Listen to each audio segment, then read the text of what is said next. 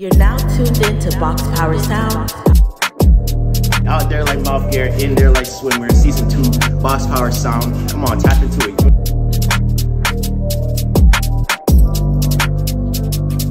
season two. I'm super excited to be here.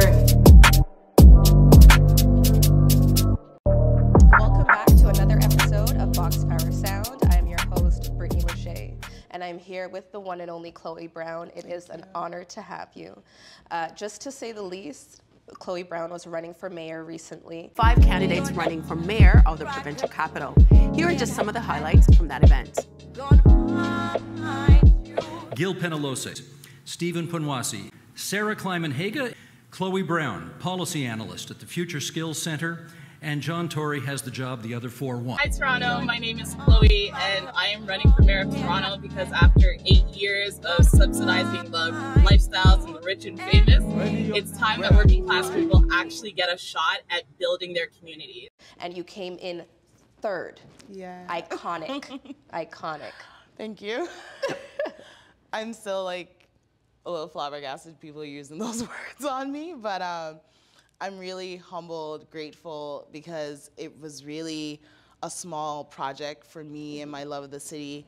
And I just wanted to change the way that politicians talked about Toronto, the people that lived in it, specifically working class, millennials, people of color, because as a policy analyst, I hear the talks about like, oh, we don't show up to the polls, we don't do this, we don't do that, and this is why we're not represented. And with this platform, it's like, well, we've gone to school, we know the language, we've Yes. done our work, and this is the platform, so you have no choice but to hear us. Yes. Yeah, so I'm really grateful people resonated with that because, yeah, it just took off in the last two weeks.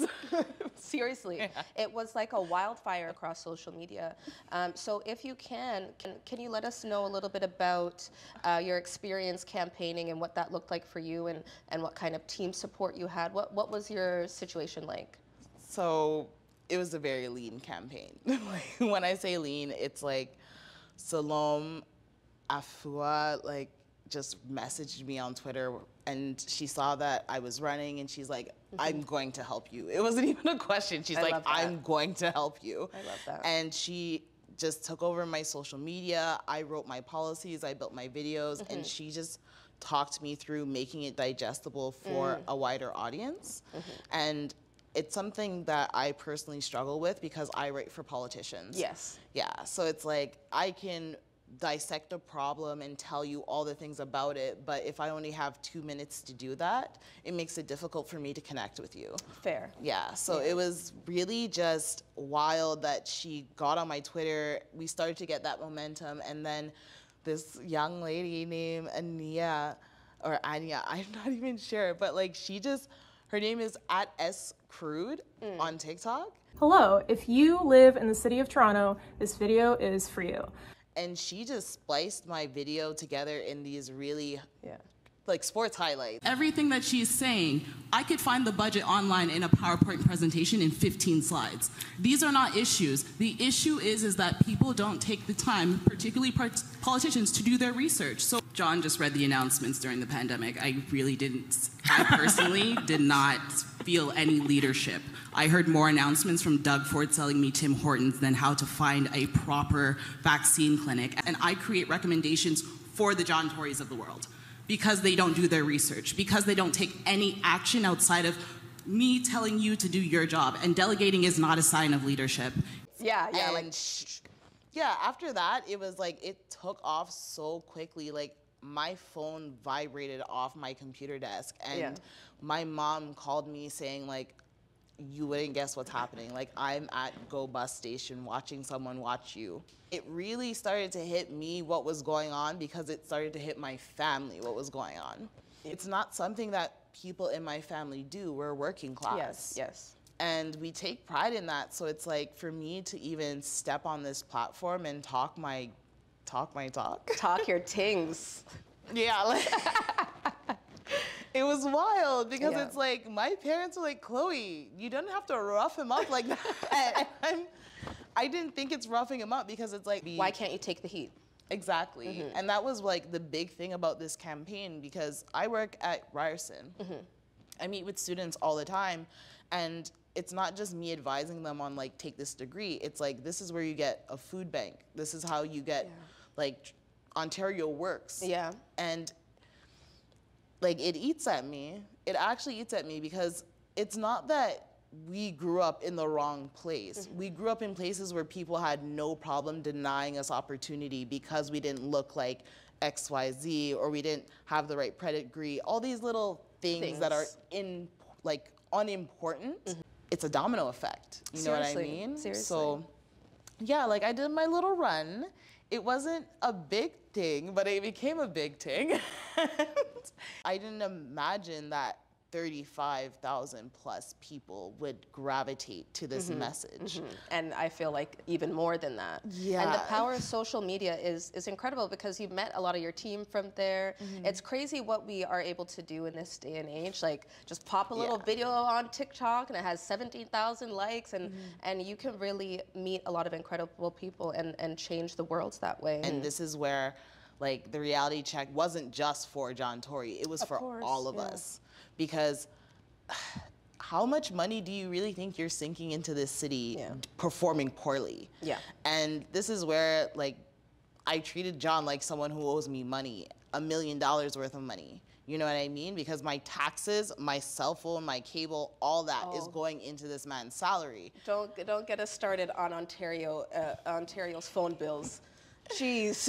well, that's the thing. Like Yeah. John Tory sits at the board of the Rogers Control Trust. Mm. That board decides how everyone like gets their shares. Yes. He does have the power to tell them like, "Hey, can we set up a program for lower income Yeah. people? Can we do this? Can we do Prioritize, that?" yeah. And that's that is my biggest beef with John because like don't come up to my neighborhood, smile up in my face, take Yeah. pictures with my people, Shake hands, yeah. shake hands, and use us as props for your photo ops. Yeah. It's disrespectful. And I think I'm a very reasonable and ethical person, and this is why I did a election run Mm-hmm. versus a different type of activism because I could have done that. You but. I came to John respectfully. Mm-hmm. But disrespectfully, you don't come into the public arena that is the city of Toronto and rob people of their opportunities because the bus is late. You don't rob the like yes. these are different ways that the rich rob the poor to me. Yes. Like bad bus service can cost you your job. It can make you late for your classes. Like not being able to afford food, you have to choose between loading your Presto, paying your rent. Like these are decisions that are influenced by politicians. Yes. So it's there's a, a very clear cause and effect here, and, and there has to be some some solution. Um, so when it comes to fighting for your community, which is what we have to do, especially as, as Black women, we have to, to juggle it all. How have you dealt with the whole angry Black woman trope? Because the second you're passionate and articulate and assertive, it can be an issue. So how have you handled that? I tell them aim for the head. like, no, for real. Like, I'm so. The reason why I was able to get on that stage and dissect John Tory the way I did is Mm. because I do my research. Yes.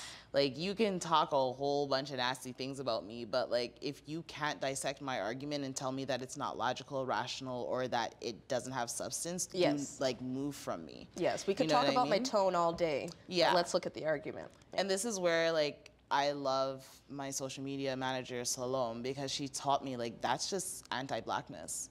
Like it's deflection. It's people trying to hit you with surface stuff because they can't reach your deep roots. Mm. And this is where I'm very proud to have Jamaican parents because it's like, yeah, you can talk all day about me, but I know where I come from. Yeah. And I know that like you're gonna have to try to knock me really far down the ladder because as Jamaicans, we will come back and I will come back stronger. Like, You know? So this is where like us as young people really have to embrace our roots because Mhm. yeah, you may have come here shackled, but you're leaving here free. I love that. Wow. I Yeah. love that. And that's the thing. It's like we're so ashamed of ourselves because we come from poor roots because that's what we've been conditioned to believe Mhm. that your income is a sign of your character. Mhm, But it's your the worth, yeah. content of what you do. And this is where like I love I love my people. I love my working class, my low income, my artists like if you can come to me authentically, mm. I can sit with you. But if you come to me with any pretense, I cannot sit with you. Yes. It's that black and white for me because at the end of the day, I've met people with wealth who will abandon you when things get hard. Mm-hmm. And I can't roll with people who will not be tough when things get tough. Yes, and that's why community is so important, and that's why we have to fortify community because we're we've we've lost that sense of. I, firstly, Toronto um, is known to not have the same sense of uh, community just because we, we don't have the numbers. It's, we have a smaller population and then an even smaller black population. So it's already been kind of a struggle for, for the city. The city feels a little fragmented uh, right now. I don't know if other people can relate, relate to that. So it is really nice to see you come out full force and like, like, you know what, everybody just shut up and listen to what I have to say. And this is this is what we have to do. And sometimes that's that's so necessary. Look at where it's gotten you. Well, that's the thing. It's like the same way we're talking on this couch is the way people talk to me regularly. Yes. And I have to like rate my friends so hard for this because it's like they keep me humble. Yes. You know what I mean? I have a bunch of ideas, but like how many of them are feasible matters. And I only get to check that when my friends check me. Yes. You know what I mean? So it's one of those that's why it feels like a labor of love to me because it's like I wasn't gonna let John Tory get this city for free. He would have to come through me. He would have to like battle me on stage for it. I don't care. He would have to lip sync for his life, basically. Like, I love it. I yeah, love like, it. and that's the thing. Like when I finally caught up with him, mm-hmm. I was just like, "So this is what you're bringing me? Like Yeah. your recited lines? I'm going to Yeah. lip sync you, like lip sync you into the ground." And Yes. that's what it is because me coming out with no notes is me just knowing my Who my you are, lines, who what I you want to do, what you need to Exactly. get done. Anybody can go out and regurgitate jargon and be like, "Oh yeah, of course." Especially, especially when you come from a long line of politicians or, or whatever the case is. It's very easy, very easy to do that. But I want to know a little bit more about this uh, vigor that you have to, to fight for, for the people. Did you have these aspirations as a, as a young girl? Did this? Did you wake up one day and say, "I'm going to run for mayor"? No, honestly, like I grew up at Islington Finch, 2765 Islington Avenue, Roundtree forever. Um, and I used to have to go up to the 15th story, like on the roof, to see Toronto. Wow. Yeah, like down going downtown was the treat, you know?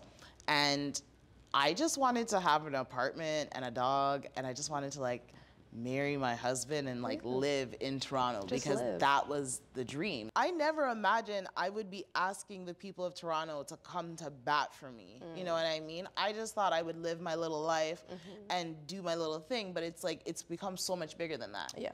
Our lives have been disrupted with the, the cost of living crisis and, and the wage crisis. And so we have no choice but to disrupt the system. Our lives have been, been so disrupted. Yeah. Um, so it's, it's only fair that, that we respond with some disruption as well. Well, and that's this is why like I was really keen on getting young people to vote because John Tory has his 30%. That means 70% of people are not mm-hmm. participating. Mm-hmm. And with the 6% that I was able to get, it means that the voter turnout could have been much lower. Mm. And this is where I start to I start to get a little hopeful. I know it's not a Toronto thing to do. Like we're stush. We're just like, yo, prove it to me. Right? right? But it's Like, like a vote after you win. Like, Yeah. not how it works. Not, how- not how it works. oh, like the amount of I wish I knew about you sooner, and it's like this election's been in the news since May. But like Yeah. that's me being a policy analyst. Yeah, right? fair enough. Fair enough. yeah, so it's like I don't even fault people, but it's like this is the opportunity to like pressure to pressure these politicians Mm-hmm. And shake up the city. Yes, like change the way that you're seeing Toronto. Mm-hmm. And this is where like I will always bug the arts community because it's like if they realize how much power they could have by Yes. creating music, artists like theater and different things to sway people's minds on how they saw themselves as Torontonians, Mm-hmm. it could change the way that we vote. Like Drake is an example of that. Yes. Like he leveraged that career on Degrassi into a, a global recording career that even has politicians talking about his global influence, and they do consult him on certain things. You know what I mean? Mhm. Because that brand has power. Exactly. So it's like, how much more power would the collectives have? We all need to figure out what our role is. Like, we can't all be top shata, number Yeah, one, the yeah. king of Toronto. Like, someone has to do paperwork. Someone has to like be the event planner. And there's no shame in that. Exactly. This is where community matters because it's like you shouldn't feel shame for your role, no matter how big or small it is. It contributes to the larger, the bigger whole. picture the bigger Yes. picture and a big part of the struggle with that as well is the instant gratification that that millennials and Gen Z and now Alpha, I, there's another generation, um, but I'm sorry. I've been away for like two months, and there's a whole new generation. There's a new people. generation now. The Wow. Alphas. I'm like, it's a good name though. It's a good name. They, they got a good name. The Alphas. Alpha? Yeah. I deal with alpha males all the time. I don't need any more of these Greek letters. Like I, I just need people to just be themselves. Right, be yourself. point. Be yourself. A big issue though for us is the instant gratification of it Yeah. all, and people don't want to play the long game. And it's really important that we have to realize that sometimes I say it all the time. Sometimes it's your life's work. Yeah. Sometimes you don't even see the fruits of your labor. You Mm. some, you might not even see it, um, but that doesn't mean it's not worth it. Well, that's the thing. It's like when I was when I first started going to post secondary, I went to school to be a physiotherapist. Oh wow. Okay. Yes, I just wanted to work for FIFA and like find my husband in the so- ranks of like soccer's best competition. Forgive me, God.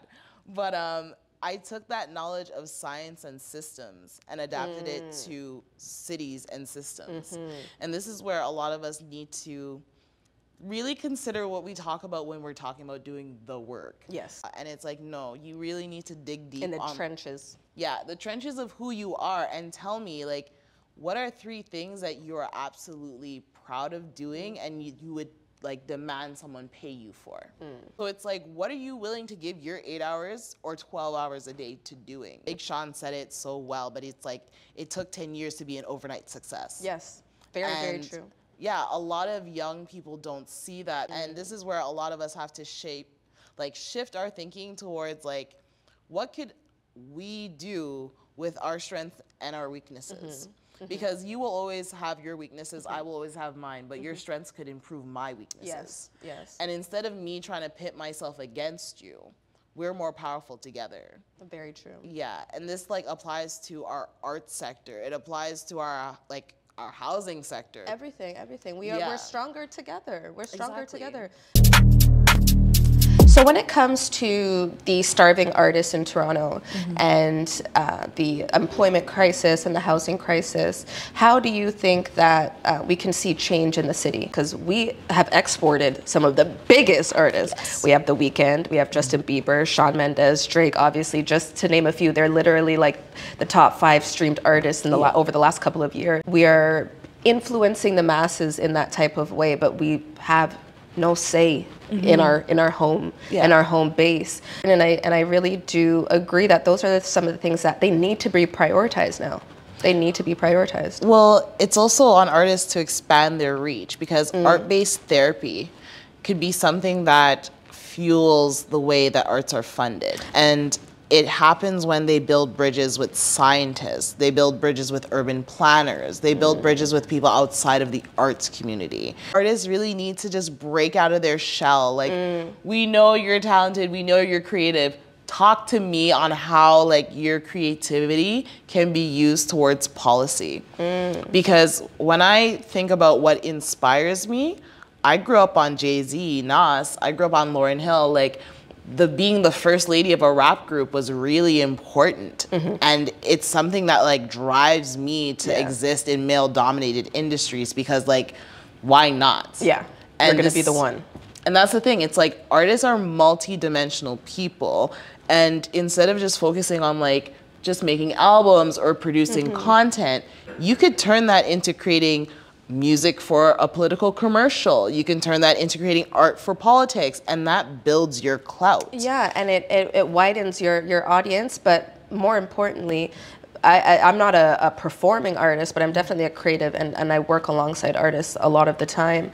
Um, but that I would assume that would kind of deepen your journey and bring more, Exactly. you know what I mean, more value to, to the work that you're doing. Uh, especially, we've seen it time and time again where where uh, especially black artists you go into the studio you record and you leave you do what you need to do and you're not worried about how it impacts your your Yeah. community. And the the greater impact on the people that that look like you. It's very easy to walk into a studio and sing about gun violence um, and you know calling women out of their name but when you ha- when you have to turn around and look at your community there's clearly a disconnect there's Yeah. clearly a disconnect And this is where it's so important for all of us to be involved in politics because it's like one of the big signs of success is like, oh, you made it out of the hood, but you're still paying for the services that people in the hood need. And this is where charity drives and all those things become like really shallow because it's like you're coming back every Thanksgiving having to give out turkeys. Meanwhile, if you confronted your government,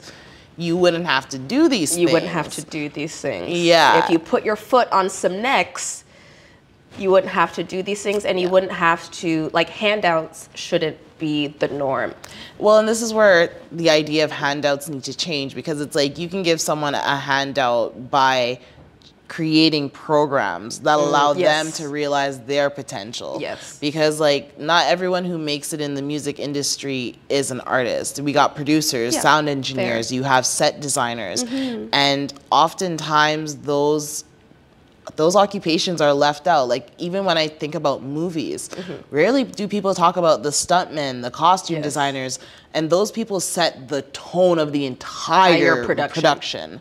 And this is where like artists really need to dig deep inside themselves because it's like you could set the tone of an entire election. Mm. Look at what Barack Obama's art did. Yes, we can. Those use of colors, mm-hmm. those things inspire people. And resonated and, and spoke to people in a way that maybe his his speech wouldn't have. Yeah. That's that's very that's very interesting. And what would you say to to artists who are told to stick to the music and not get involved in politics? Because we see people like like Kanye who has made such an incredible legacy for himself, and he has gotten himself really deep into a political space. Uh, how, how would you how would you navigate that if you were an artist trying to get into politics? when I think about like the power that Kanye West has had with his brands and what he could have done with it, it's the fact that he has polluted himself with like That's political good, rhetoric. Uh, term. He's polluted his legacy, his message. It's, Yeah. it's been polluted and tainted. He's polluted it for like sensationalist fame that is associated with sensationalist politics. Mm. And I don't think he understood the gravity of this because it's like, yeah, you can do shock and awe in entertainment, but if you do that in politics, you will get crushed. Mm. You can't do shock and awe with industry, businesses, community Mm. organizations. We all have a greater stake in this than you as an artist because these are the programs that feed our kids, they educate them. Like, this and this is the thing like i hate to say that kanye is like john tory where it's like you thought your power and privilege would buy you unchecked access Unchecked. and unchecked freedom mm. meanwhile freedom is the balance of rights and responsibilities you have the right to do whatever you want but you have also have the responsibility to deal with the outcome of it Thank you. You you will the, the consequences will always be there. And the thing that is always so frustrating about Kanye is that there there are to, to there's some validity to some degree to a lot of the arguments, but it's so easy as we were talking about anti-blackness. It's so easy to just point at certain things that he's going through that's going to completely cloud whatever message he may have, which makes it difficult for the rest of us to, to come along with that message and fight for the power that we believe we deserve um, because we tend to get thrown in the same bucket. this is where we need to elevate like other people who are good at things. Like the accountant doesn't get shine, the lawyer doesn't get shine. Like we're all little nerds in our little arenas, but it's like you literally need me to navigate the industry. Mm, and this is where like we need to expand our partnerships bes- beyond the people that make us comfortable. Because yeah, I have a friend that is a lawyer. I have a friend that is an accountant, and I run decisions by them, and they're not afraid to be like, Chloe, that's insane. That's crazy. You sound crazy. Yeah. Yeah, like if you came to me as a professional and you pitched it to me, I would say no. And you need to be surrounded by people that are critical just as they are supportive. Mm. I love that. Yeah, and that's the thing. It's like I don't know Kanye's circle, but it's just like it seems like he's surrounded by enablers. It, it is, and it, it's it's it's interesting because, as you mentioned, it seems like he kind of applied his strategy and framework as just a musical artist to politics. Yeah. And and sensationalism doesn't it doesn't work necessarily both ways. Mm-hmm. And politics is not about raw given talent. Mhm. It's about how you it's how you share your message. how you identify with your audience. Mhm. And that's one thing that like shocks me. It's like Kanye is so far gone that he doesn't know who his audience is anymore. Anymore. And that's the truth about politics. If you don't know who your audience is, you'll never make impact. And I was lucky with the TikTok that I had because yeah, I never could have imagined 35,000 people could vibe with me. Yes. I'm weird. I got my own little stuff going on. Like I like who We I am. all do. We're all weird. We all got our little stuff going on. Yeah, and that's the thing. It's just like because of the way social media is set up, like, yeah, if you don't have enough followers, how can you even say you're a valid valid person? How can Yeah. you say you're popping, all that Yeah. stuff? But it's like forget about that. You're Forget about it. And we need we got to get back to real community. Yeah, Real real community, real talk. yes. Like if I can't have a real talk with you, like are we really even friends? And this is where like I really just vibe with the fact that people saw me as being authentic because like very authentic, yeah. The way that I was talking to the audience, it's like, hey friend, you're in a bad relationship. This is Get all out. the bad things about this man. Like leave him. Yes. And that translated because It it's like a yeah. lot of people do feel like they're in a in a bad relationship with Toronto. It's true. It's Yeah. true. And I'm glad I'm glad you made your mark on the city. I know this is this is only the beginning. And I this hope. real you don't have a choice. You don't have a choice. You have to s- you I have to keep doing what you're doing. You have the whole city behind you. Thank I you. hope you realize that. I I I, hope you try that. to honestly like I take everything a day at a time, and now people are like, "You're booked and busy." booked Like- and busy and clearly you've inherited your your mom's modesty because you're you're doing a lot Thank you. You're doing a lot chloe i could talk to you all day about politics and and the city of Toronto. Uh, but just in one moment, we're going to have Steven Conville of Kronic Relief, and he's going to talk to you about life, politics, and cannabis. All right, we are back in studio with the one and only Steven Conville. The one, the only. I love how you do that. Thank you so much. It's unbelievable. Chloe Brown? Yes. Can I call you Chloe B? yeah. You know why? Because Cardi loves to talk politics too. Well, that's actually very, very smooth. But uh, it just when you have such an eruption, an explosion into popular culture, I feel like you need like a moniker. You know, you need. you, you know, you can't just. You know, like a soccer players, they're like Yeah. Kaka. You know what I mean? Like, you know, you just gotta get one of those names because you did you did so well. So um, I want to get right at it. Okay. I don't want to sound flippant when I said I didn't think it was realistic to think that you were going to um, do the David Goliath thing um, in round one. So, is there a round two, and and how how how how how do we frame this? Because Mayor Tory was very successful. It took him almost 20 years to get that post. So I don't want you to think that the first defeat signals loss. It's we we gotta Yeah. we gotta prepare now, and and and how are we gonna take things to the next level? So it's funny you say that it took John Tory to get 20 years because it took two months for me to get 34,000. So like John is, John took a lot of time to do what I can do in a short amount of time. So I'm not really, I'm not really pressed about that. but um, that's such a big question because it's like a few days ago, it's like I took everything a day at a time. Now booked and busy for four years. I still work at Ryerson. I have to finish my contract in January. I'm going to come out with a playbook for new candidates so that they can understand how to navigate things and just get an easier time at it. And uh, now that I've run against John, it's like I've really hit my peak in my profession. Like I've run for two offices. I've really just proven that young black policy analysts like myself are out here and we are doing the work. And that to me is the first step for changing the narrative because I don't think a lot of young people of color have the courage to run because of where we grew up. And I think that narrative has to change. Like whether you're from Galloway, Jungle, Rexdale, like it doesn't matter. The platform is yours.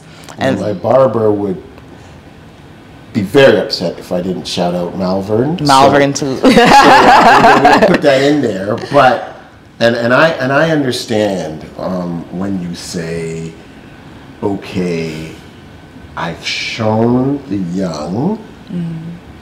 that they can run, but you need, and I'm going to stress the need, to show the young that you can win. Mm. And and and and no, you know the, the you know the phrase about the shoulders and the crown. Yes. And it's heavy. Yes. Right? So you know you've stepped up.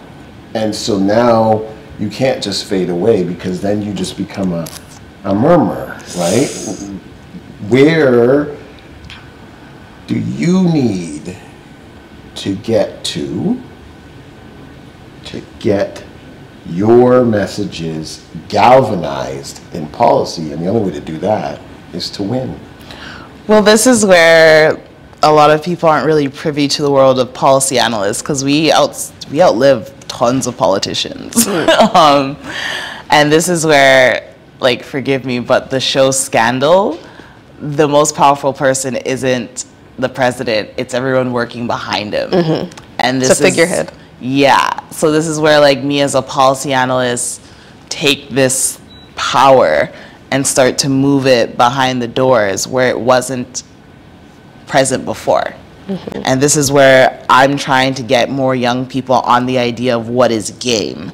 Because game is not how much brands you wear how do you move your community to get that community center, to get that housing mm-hmm. development? And that's not done by just pushing politicians, it's pushing their donors, it's pushing mm-hmm. everyone who puts them on that platform. So I understand what you're meaning when it, it's like, I need to win, but this win was nothing that was expected. Mm every political insider is wondering how I could get 34,000 plus votes with a budget of $1,900.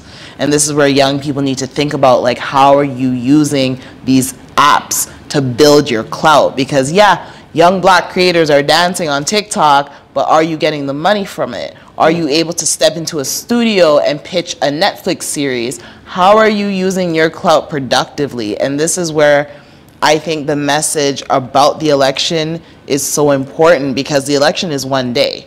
The next four years, I could push a bunch of policies and get that to happen with or without John Tory because there's three levels of government. John Tory is one man. And this is where we were talking about it earlier. Young people are talking about, oh, it's not checkers, it's chess people are playing Risk, they're playing Catan, they're playing Monopoly. Catan. If you can't get onto these games and the rules, you're gonna get left behind. So I might have not won in the traditional sense, but amassing power is a different game.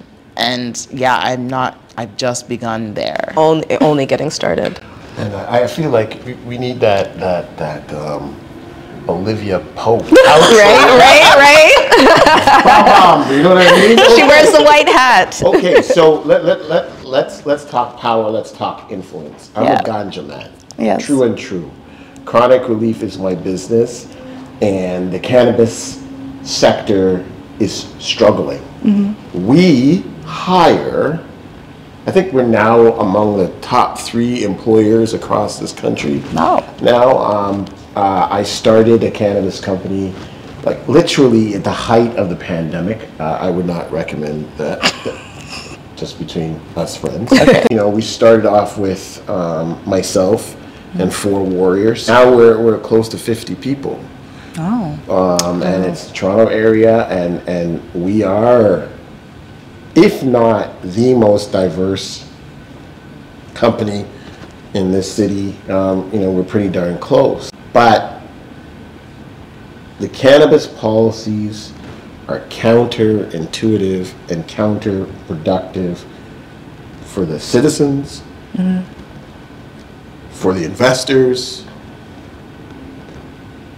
for the consumer and for the operators, Mhm. whether it be dispensaries or um, cultivators. And, and we are cultivators. So you as a policy analyst, um, how can I rely on someone like you to affect change in my sphere?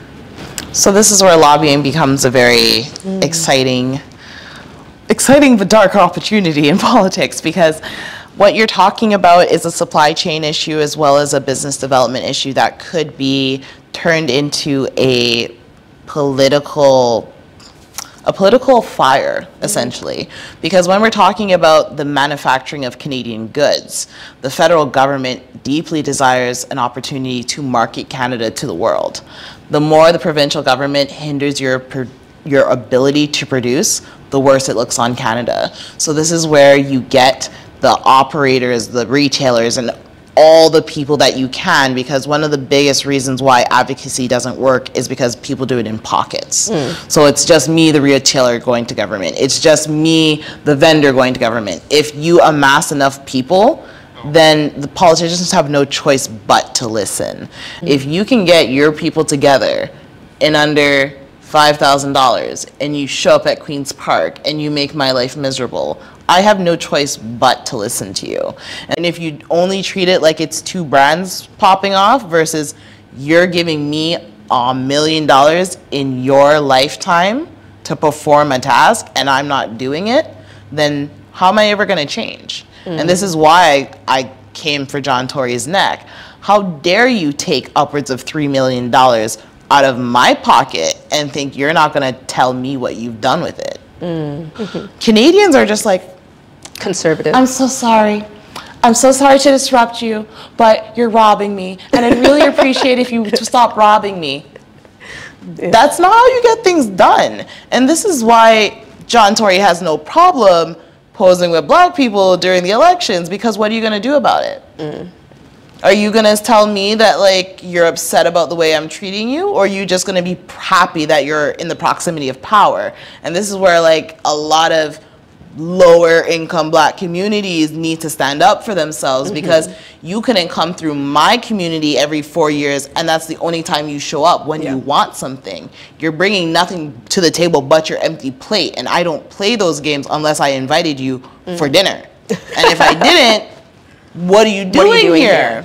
You know what I mean? And this is the type of attitude we need to hold for politicians because no one gives them that energy. We're very polite to them and they're robbing us. Like, So, so, I- I mean, I, this is example is very real to me Mhm. because um, my parents are foundational members of the Jamaican Canadian Association. Oh, wow. And um, you know, I grew up in that organization, and um, they do a lot of great community work. But voting is very important. And lobbying is important. And volunteering for candidates campaigns is important. And getting behind candidates is important. That riding where um, it's in the jane finch corridor Mhm. where the jca is on arrow road the ontario conservative government has not run a candidate in that area for, I think it's 40 years now. So it's not even that we don't vote. Even if we did, they don't want it. And so I want to get back to my original question because I'm not going to let you off the hook. Yeah. You have a lot of knowledge.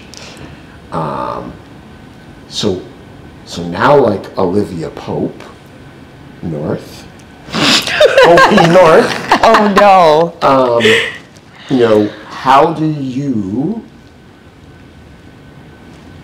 marshal the candidates that you want so that you can secure the victories that we need hmm. so that policy can be affected at all levels because I don't want to sound anti-fun guy because I am hmm. the fun guy. Okay, I am the fun guy. I'm, you, I'm the fun guy. But you know, this guy's an idiot or this guy's whatever. I'm gonna mm-hmm. stand on this person's neck. Okay, I mean it's cute and it's a great soundbite, but unless you back it up with action, we we we're just left with sound bites. Mm-hmm. Mm-hmm. And and I think it's time for more. And with the knowledge that you have in your head, um, you know, some of us in our community were just like, this is too much stress, and Yeah, as a walk away, man, yeah. you'll just go and run a thing and then think about, oh, life is hard, and and and and, and not hold people accountable. Mm-hmm. But we are so far, and that's why I want to bring you that point. It's not even that we don't vote so they don't care. They don't care if we vote. That is that is that is that is a, a, a- something I'd like you to ponder because that's the depth, in my opinion, of disrespect. We're not even going to run a candidate, so mm-hmm. those other people they can represent you forever mm. because we don't care. Not been considered. That is Well, this is where it becomes very easy to get someone on the local level. It cost me $200 and 25 signatures to run. Mhm. And that was like a conscious decision by me to be like, win or lose, John Tory's gonna have to meet me Mm. somewhere. And he's gonna have to hear from me. And this is where people need to just take the risk of running versus trying to calculate their wins before their chi- chickens hatch. Because I feel like too often we're a show and prove city versus taking a risk. And this is where certain artists have been more successful than others because taking that risk to take that bus into America by yourself is huge.